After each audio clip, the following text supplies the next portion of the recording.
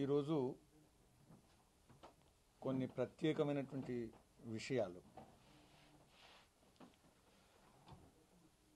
BJP దృష్టిలో కేసీఆర్ ప్రభుత్వం సాధారణమైనటువంటి పరిపాలన ఏదైతుందో అది పూర్తిగా ఆగిపోయిందనేటువంటి విషయం మాకు కనబడుతున్నది.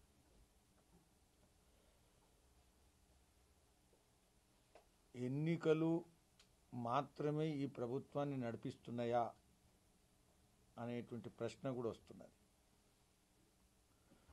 ముఖ్యంగా దుబ్బాకలో బీజేపీ గెలుపు తర్వాత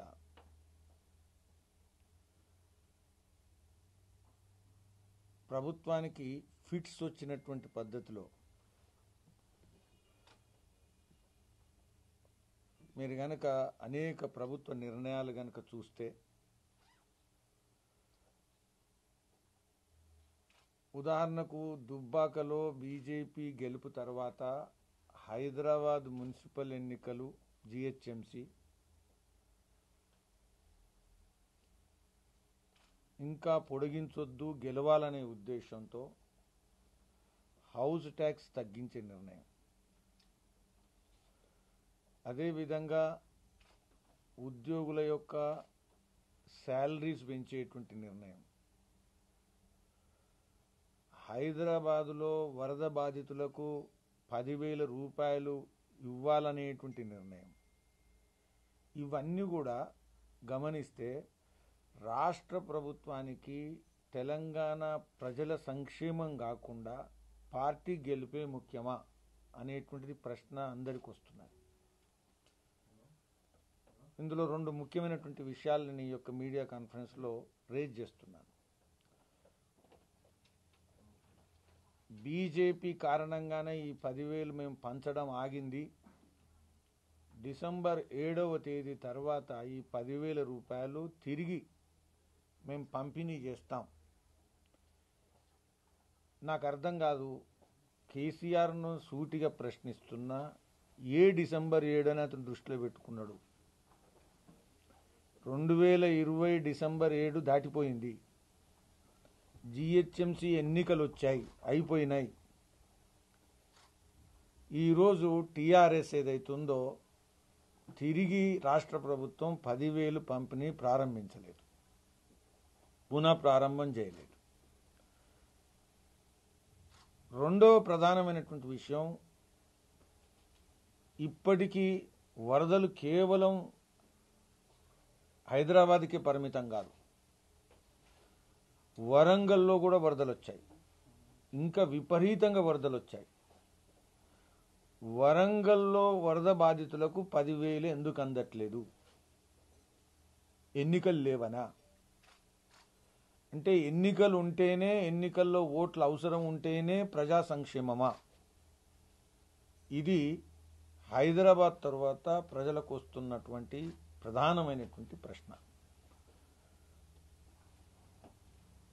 వరంగల్ నేను వెళ్ళొచ్చాను ఈరోజు వరంగల్ మొత్తంలా వరద బాధితులు విపరీతంగా కుటుంబాలు నష్టపోయినాయి కష్టపడుతున్నాయి. కానీ రాష్ట్ర ప్రభుత్వము వరంగల్ వరద బాధితులకు ఇతర నగరాల్లో ఉండేటువంటి వరద బాధితులకు ఎలాంటి సంక్షేమం విషయంలో వాళ్ళ యొక్క ఇబ్బందులను తొలగించడం విషయంలో ప్రభుత్వం నిర్ణయం చేయలేదు. ఎందుకు నిర్ణయం చేయట్లేదు? బీజేపీ డిమాండ్ చేస్తున్నారు రెండవ ప్రకటన. ఈరోజు అందరికీ తెలుసు నాగార్జున సాగర్ ఉప ఎన్నికలు రాబోతున్నాయి. పట్టభద్రుల ఎన్నికలు రాబోతున్నాయి. హైదరాబాదు నల్గొండ మహబూబ్ నగర్ ఇంకొక వైపు వరంగల్ నల్గొండ ఖమ్మం. ఇలా రెండు రాష్ట్రాల రాష్ట్రంలో ఉండేటువంటి రెండు నియోజకవర్గాల ఎన్నికలు రాబోతున్నాయి. వాటిని దృష్టిలో పెట్టుకొని గత ఐదు సంవత్సరాల్లో చేయనటువంటి ప్రకటన మేము ఖాళీలు భర్తీ చేస్తాం.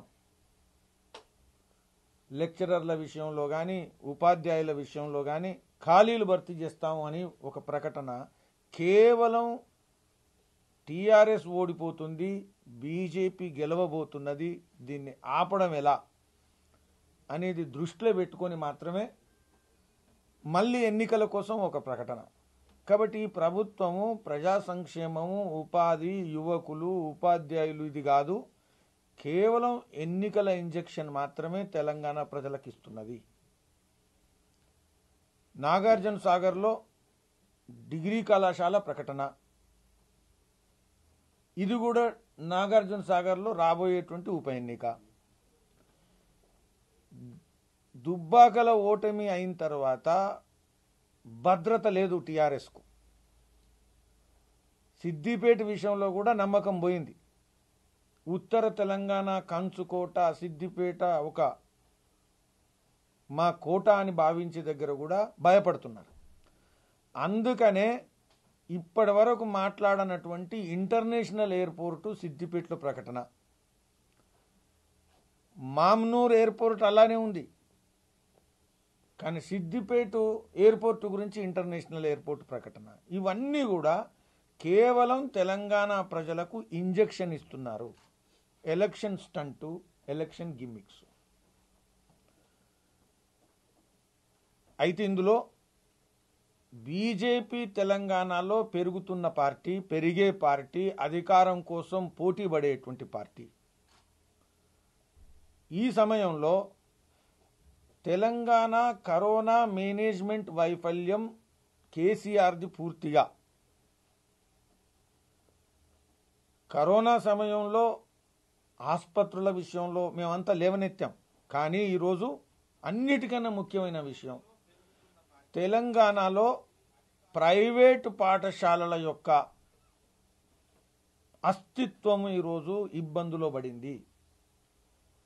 పన్నెండు వేల ఏడు వందల కన్నా పైగా ఈరోజు ప్రైవేట్ పాఠశాలలు ఉన్నాయి. పన్నెండు వేల ఏడు వందల యాభై టోటల్ ప్రైవేట్ పాఠశాలలు ఉన్నాయి. ఈ పాఠశాలల్లో పన్నెండు వేల ఏడు వందల యాభై పాఠశాలలు ఉంటే మీరు కనుక ముప్పై రెండు లక్షల మంది విద్యార్థులు ఈరోజు టోటల్ తెలంగాణ విద్యారంగంలో ముప్పై రెండు లక్షల మంది విద్యార్థులు చదువుకుంటున్నారు. మూడు లక్షల మంది ఉపాధ్యాయులు పనిచేస్తున్నారు ఈ ప్రైవేటు పాఠశాల రంగంలో. రెండు లక్షల మంది నాన్ టీచింగ్ స్టాఫ్స్ బోధనేతర సిబ్బంది ఉన్నారు. ఈ స్కూల్స్కు ఇరవై రెండు వేల బస్సులు నడుస్తున్నాయి. బస్సులు అంటే బస్సు డ్రైవర్లు బస్సు క్లీనర్లు బస్సు మేనేజ్మెంటు. సుమారుగా ఒక లక్ష మంది అంటే మూడు లక్షల మంది ఉపాధ్యాయులు రెండు లక్షల మంది బోధనేతర సిబ్బంది నాన్ టీచింగ్ స్టాఫ్. ఒక లక్ష మంది పరోక్షంగా యూనిఫామ్లు తయారు చేయడం షూ తయారు చేయడం ఇటువంటి బిజినెస్లో ఆధారపడి ఉండేటువంటి వాళ్ళు ఈ బస్సులు కాకుండా ఒక లక్ష మంది ఉన్నారు. ఈరోజు వీళ్ళ యొక్క అంటే ముప్పై రెండు లక్షల మంది విద్యార్థులు మూడు లక్షలు రెండు లక్షలు ఐదు లక్షల మంది కుటుంబాలు ఉపాధి పొందుతున్నటువంటి వాళ్ళు ఇంకొక లక్ష ఆరు లక్షలు. ఈ మొత్తం సంపూర్ణంగా విద్యారంగం ప్రైవేటు విద్యారంగం యొక్క నడ్డి విరిచింది కేసీఆర్ ప్రభుత్వం. ఇందులో కనుక మీరు గమనిస్తే నేను కేవలం ఏదో స్కూల్ ఓనర్స్ ఇబ్బందులు పడ్డారు అనేది అనుకోకండి. ఇందులో టీచింగ్ స్టాఫ్ మూడు లక్షలు పదిహేను వేలు ఒక్కొక్కరికి శాలరీ యావరేజ్ అనుకుంటే కూడా నాలుగు వందల యాభై యాభై కోట్లు. నాన్ టీచింగ్ స్టాఫ్ పన్నెండు వేలు శాలరీ అనుకుంటే కూడా రెండు వందల నలభై కోట్లు. బుక్ సెల్లర్స్ క్లాత్ ఇదంతా కూడా నూట యాభై. అంటే ప్రతి నెల ఎనిమిది వందల నలభై కోట్ల టర్నోవర్ దీనిలో కనుక మీరు చూస్తే బ్యాంకులు total budget schools own buildings ఉన్న స్కూల్స్ ఇంటర్నేషనల్ స్కూల్స్ ఇవన్నీ కనుక మనం జమ చేస్తే ఎనభై వేల కోట్ల ఇన్వెస్ట్మెంట్ ఉంది ఇప్పుడు పెట్టుబడులు ఈ స్కూళ్ళల్లో. మీలాంటి వల్లే నాలాంటి వల్ల తెలంగాణలో ఉండేటువంటి అనేక మంది ప్రైవేట్ స్కూళ్ళు చిన్న పెద్ద అన్ని నడిపితే ఎనభై వేల కోట్ల పెట్టుబడి అందులో ఉంది. సుమారుగా నలభై ఐదు నుంచి యాభై వేల కోట్లు ఇందులో బ్యాంకు లోన్లు ఉన్నాయి. బ్యాంకు లోన్లు అంటే మన డిపాజిట్లు. సామాన్యమైనటువంటి ప్రజల యొక్క పెట్టుబడులు బ్యాంకుల్లో ఉన్నాయి.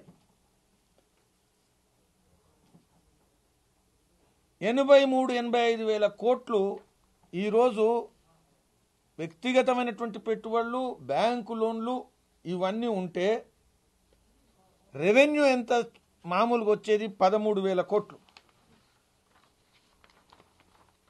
ఈరోజు గత కోవిడ్ వచ్చినప్పటి నుంచి కేసీఆర్ ప్రభుత్వం వీళ్ళతో మాట్లాడడం కానీ వీళ్ళతో చర్చించడం కానీ వీళ్ళకు భవిష్యత్తు విషయంలో ఏం చేద్దాము ఎట్లా సహకరిద్దాం అనేటువంటి విషయం కానీ ఇది లేదు.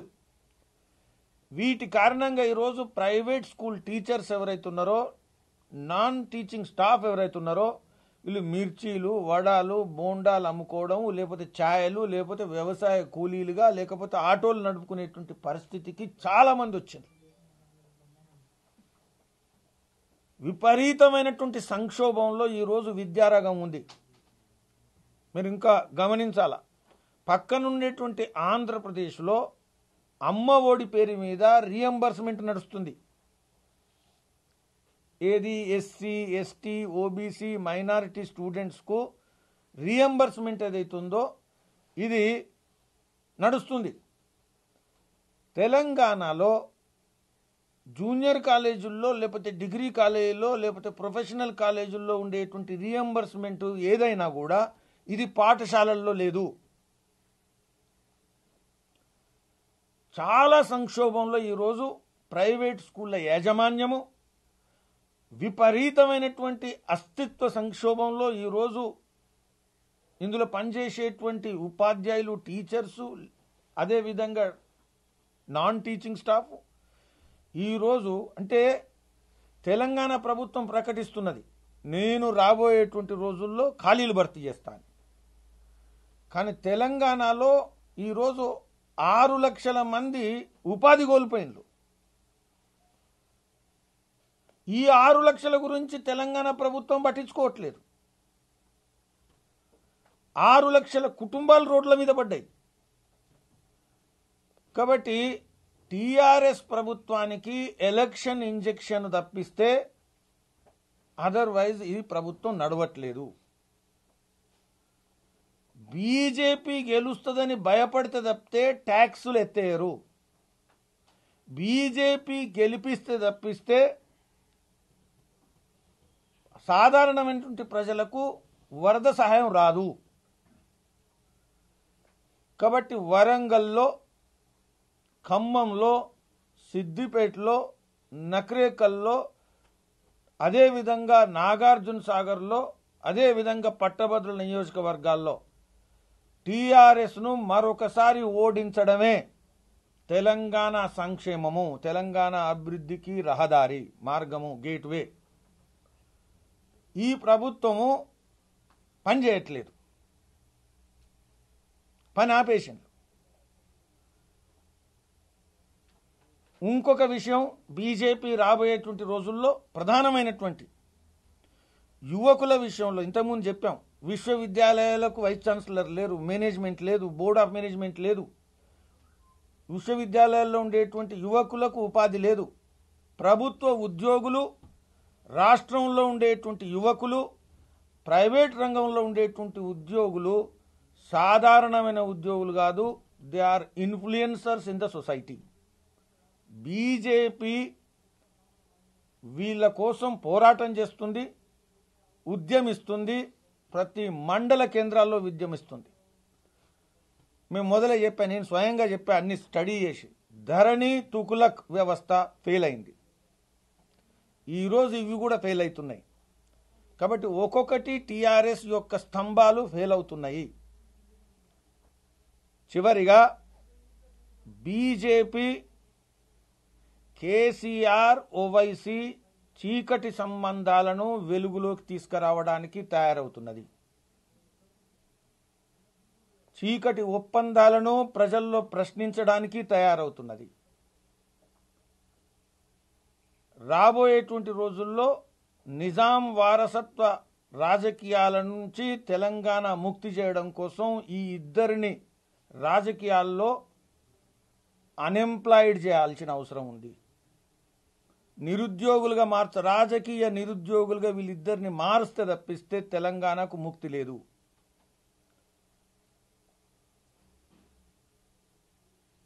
చార్మినార్ చారిత్రక కట్టడం. కానీ చార్మినార్ తెలంగాణ స్వాభిమానానికి గుర్తింపు కాదు. కాకతీయ ద్వారానికి చార్మినార్కు పోలికే లేదు. బానిసత్వం యొక్క నమూనాలు ఏదైతే ఫ్యూడలిజం ఏదైతే ఉందో తెలంగాణలో నిజాం బానిసత్వ గుర్తింపు ఫ్యూడలిజం ఆ ఫ్యూడలిజం నుంచి బీజేపీ మాత్రమే తెలంగాణను ముక్తి చేయగలుగుతుంది. రాబోయేటువంటి రోజుల్లో ఓవైసీ కేసీఆర్ హెచ్చరిక జాగ్రత్త. ధన్యవాదాలు చార్మినార్ కూడా బానిసత్వానికి నిదర్శనం అంటారు సార్ నేను అనలే నేనన్నా చార్మినార్ చారిత్రక కట్టడం మాత్రమే. చాలా ఉన్నాయి కట్టడాలు. కానీ తెలంగాణ ప్రైడు తెలంగాణ సింబల్ తెలంగాణకు భాషింగం కాదు చార్మినార్. తెలంగాణకు చార్మినార్ భాషింగం కాదు. చారిత్రక కట్టడాలు అనేకం ఉన్నాయి. ఫలకనమ్మ ప్యాలెస్ కూడా ఉంది. కాకతీయ ద్వారం తెలంగాణ ప్రైడ్కు సింబల్. ఇది బీజేపీ ఖచ్చితంగా భావిస్తున్నది.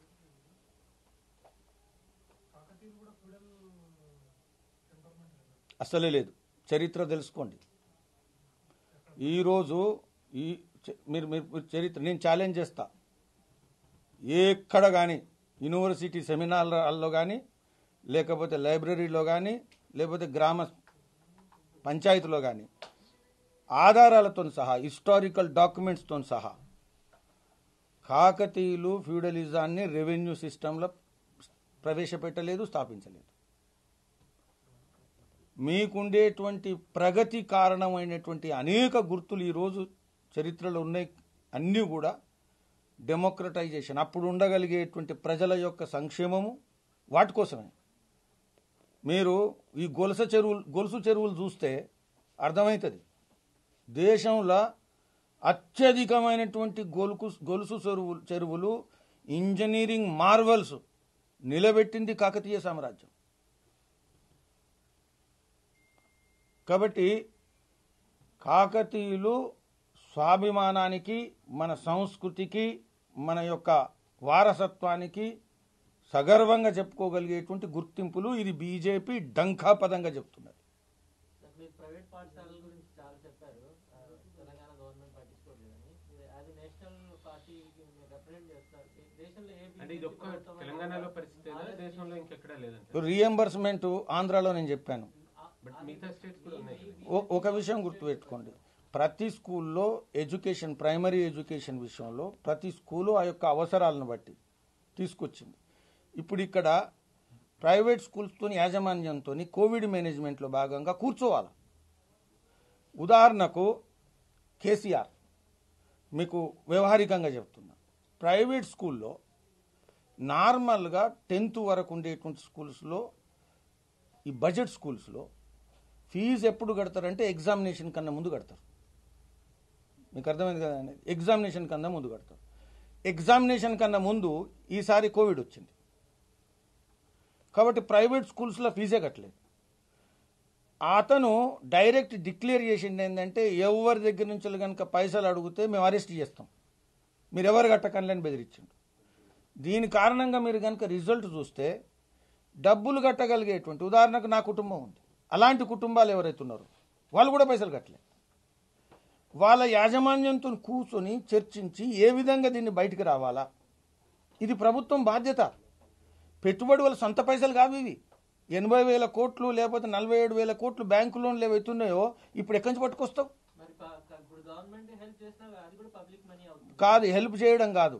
హెల్ప్ చేయాల్సిందే లేదు. ఇప్పుడు స్కూల్ ఎట్లా మేనేజ్మెంట్ చేయాలా? రేపు స్కూల్స్ ఎట్లా ఓపెన్ చేయాలా? లేకపోతే ఏ విధమైనటువంటి యాజమాన్యం అడుగుతున్నది మేము కూర్చుంటామని. పైసలే అడగట్లేదు. ఇంతవరకు ప్రైవేట్ స్కూల్స్కు ఒక హియరింగ్ ఇవ్వట్లేదు. లోన్స్ విషయంలో కూడా గవ- ప్రభుత్వంతో కూర్చుంటే షెడ్యూలింగ్ సాధ్యమవుతుంది. వాళ్ళు ఆత్మహత్యలు చేసుకోవాల్సిన పరిస్థితికి రాకూడదు. వాళ్ళు శత్రువులు కాదు. అందుకని ప్రభుత్వమే మొత్తం ఖజానా తీసి ఇచ్చి ఇవ్వని నేను అడగట్లే. సంక్షేమాన్ని దృష్టిలో పెట్టుకొని యాజమాన్యాలతో కూర్చొని రీస్ట్రక్చరింగ్ చేయాల్సిన అవసరం ఉంది. ఇది రాష్ట్ర ప్రభుత్వమే చేయగలిగే పని.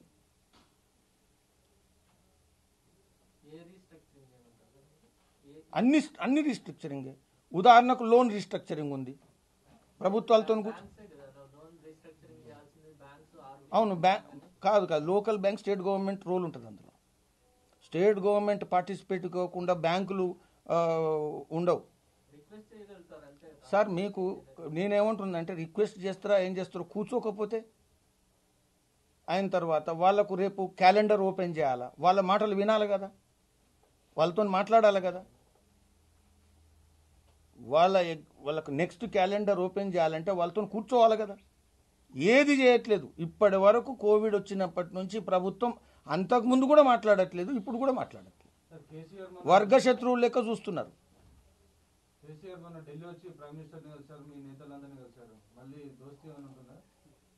మీ నాయకులం కలవలే వాళ్ళు. నాయకులు దేశానికి ఉండే నాయకులను కలిసిండు. జేపీ నడ్డాను కలిసిండా? కేంద్ర మంత్రులు ప్రభుత్వానికి మంత్రులు దేశానికి మంత్రులు కలవకపోతే నువ్వు మీడియాలో రాస్తావు రేపు. ఇదేమన్నా వీళ్ళ పర్సనల్ ప్రాపర్టీనా అని. నాలుగు కోట్ల తెలంగాణ ప్రజలకు ప్రాతినిధ్యం వహించే ముఖ్యమంత్రికి టైం ఇవ్వకుండా కలవకపోతే ఎట్లా? అందుకని home minister prime minister chief minister వీళ్ళు కలుసుకున్నారు. దీనికి బీజేపీకి సంబంధం లేదు. కాంగ్రెస్ పార్టీ అంటుంది మీరిద్దరు ఢిల్లీ స్థాయిలో సహకరించుకుంటున్నారు గల్లీ స్థాయిలో డూప్ ఫైట్ చేస్తున్నారు. ఢిల్లీలో దోస్తి గల్లీలో డూప్ ఫైట్ ఒకటి మీరు గుర్తు కాంగ్రెస్కు జమీన్ జప్త్ అయిపోయింది తెలంగాణలో.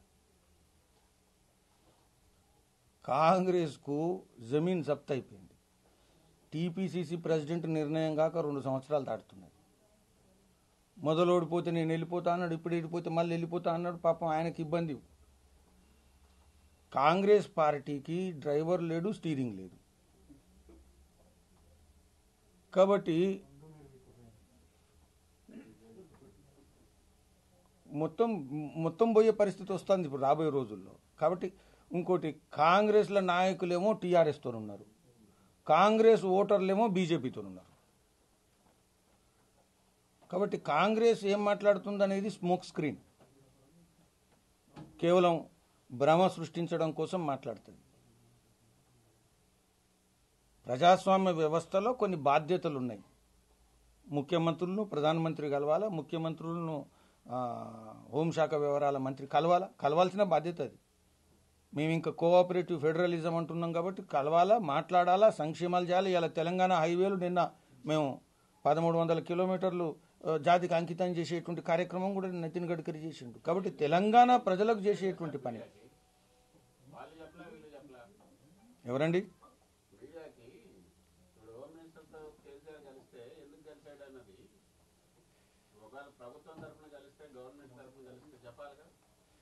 సార్ ప్రధానమంత్రికి ఇంకొక పని లేదు సార్. ప్రభుత్వం త్వరనే తరపునే కలిసే పని ఉంది. మా పార్టీలో రెండొకటి కాదు. మా పార్టీ ప్రెసిడెంటు దేశానికి ప్రధానమంత్రి. రెండు మా దగ్గర ఒకటి కాదు. కాబట్టి కన్ఫ్యూజనే లేదు. వాళ్ళకు రెండో ఒకటి కాబట్టి మీరు వాళ్ళతో మాట్లాడాలి? కన్ఫ్యూజన్ పెట్టకండి. అసలు విషయం ఏందని. బీజేపీల పార్టీ యొక్క డివిజన్ ఏదైతుందో అది చాలా స్పష్టం. దేశానికి ప్రధానమంత్రి బాధ్యత వేరు పార్టీ అధ్యక్షుని బాధ్యత వేరు. బాధ్యత వేరేనా అని ఆయన వచ్చి మిమ్మల్ని సంధి కోరితే మీరు సంధికి ఒప్పుకుంటారా? అంటే సంధి కోసం వచ్చాడు మీ దగ్గరికి అని మమ్మల్ని ఒకటి గుర్తుపెట్టుకోండి. టీఆర్ఎస్ పుట్టి ఇప్పటికి ఇన్ని సంవత్సరాలు అయిపోయింది. పుట్- పుట్టినప్పటి నుంచి ఇప్పటి వరకు ఆ పార్టీతోనే సంబంధం లేకుండా రాజకీయాలు చేసినటువంటి పార్టీ కేవలం బీజేపీనే.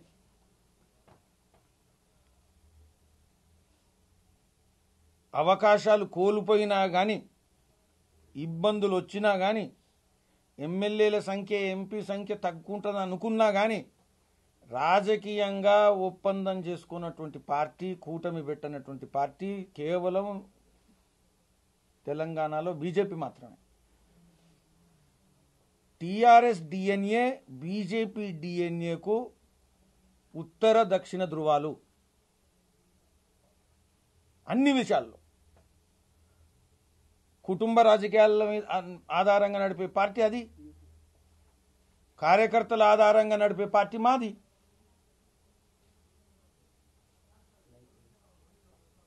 ఓటు బ్యాంకు రాజకీయాల ఆధారంగా తెలంగాణ ఆత్మగౌరవాన్ని అణిచివేసేది వారసత్వ రాజకీయాలు నిజాం వారసత్వ రాజకీయాలు నడిపేది టీఆర్ఎస్. ఇప్పటి వరకు కంటిన్యూస్గా పోరాటం చేసేటువంటి పార్టీ బీజేపీ. కాబట్టి ఈ రెండు డిఎన్ఏలకు మధ్యన సంబంధానికి అవకాశం లేదు. మీకు అవకాశం లేదు కానీ ఆయన సంధి అంటే మీరు సంధి అంటారా లేదంటే సమరమా? సంధి సమరం మీరు? నే మాది సమరం ప్రక్కా ఈ రోజు నేను ప్రెస్ కాన్ఫరెన్స్లో చెప్పిన దాని ప్రకారం కూడా సమరమే కదా. కేసీఆర్ అవినీతి అంతా బయట పెడతా అంటున్నారు ఎంతవరకు వచ్చింది సార్ అది ఆ? కేసీఆర్ అవినీతిని వెలికితీయడం ఎంతవరకు వచ్చింది కేసీఆర్ అవినీతి సీరియల్ ఇదే ఒక ఎపిసోడ్ కూడా స్టార్ట్ అయినట్టు ఇన్స్టాల్మెంట్లు ఇస్తాం. అనొచ్చు సార్ అట్లాగా సార్ ఇన్స్టాల్మెంట్లు ఇస్తాం. చెప్తున్నా కదా నేను. సీరియల్ అంటేనే ఇన్స్టాల్మెంట్. అవును ఇన్స్టాల్మెంట్లు ఇస్తాము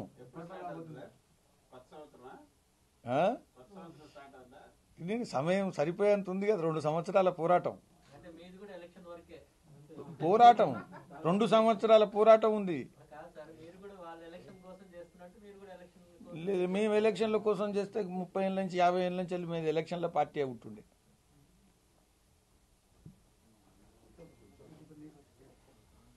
ఓకే?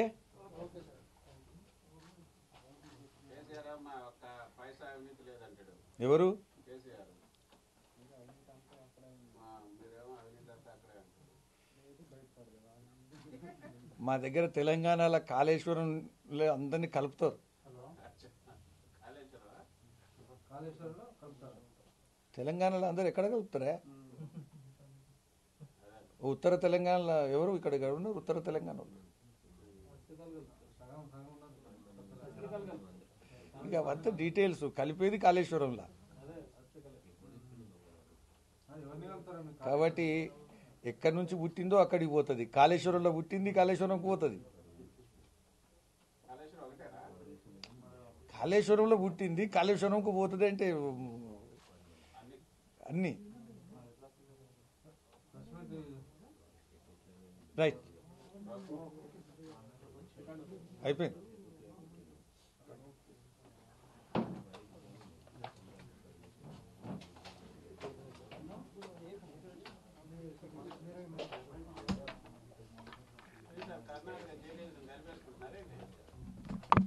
అది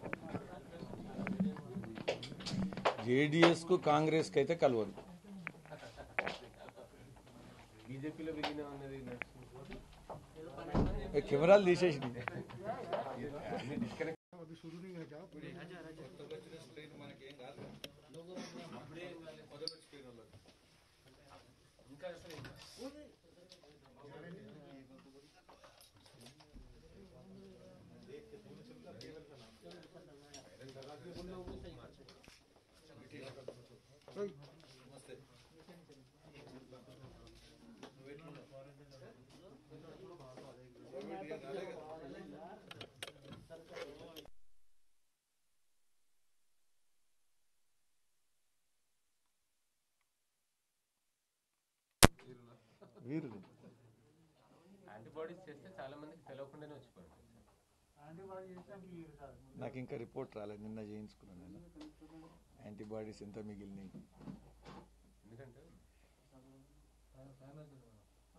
మొదలు పెట్టాలా? ఇది తీసేయాలనా? సార్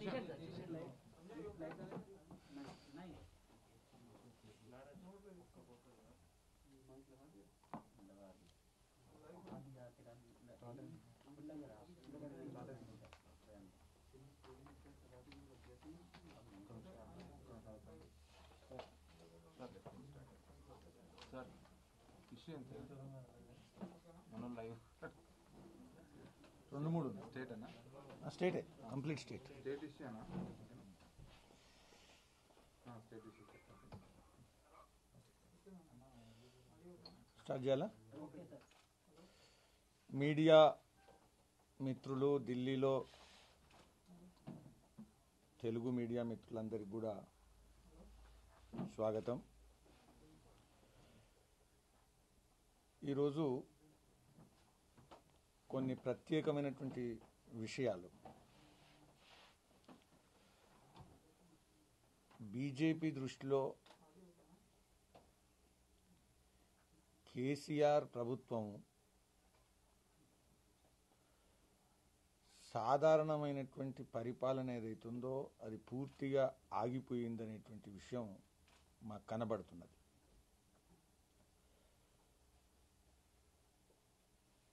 ఎన్నికలు మాత్రమే ఈ ప్రభుత్వాన్ని నడిపిస్తున్నాయా అనేటువంటి ప్రశ్న కూడా వస్తున్నది. ముఖ్యంగా దుబ్బాకలో బీజేపీ గెలుపు తర్వాత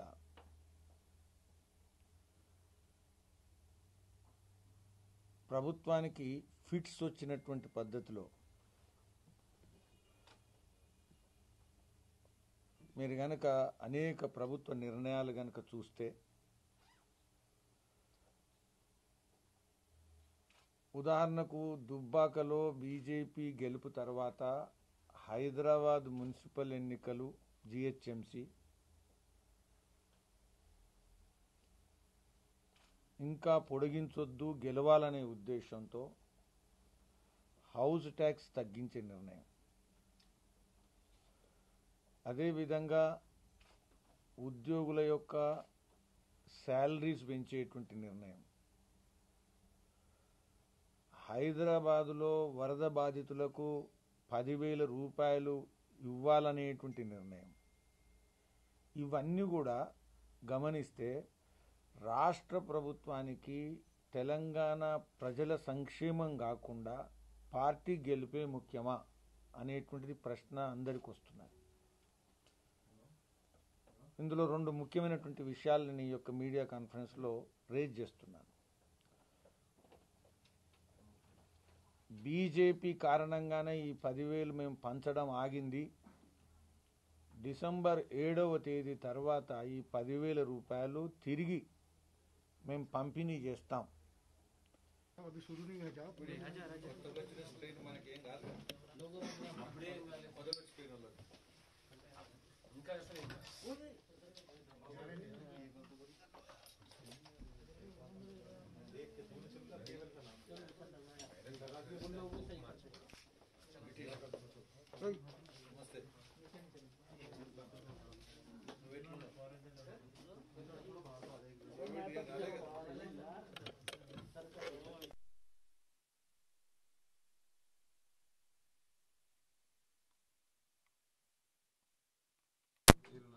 వీరులు.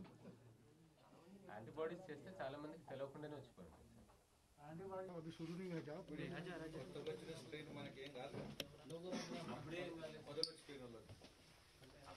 ఇంకా అసలు అది షురుని కాదు?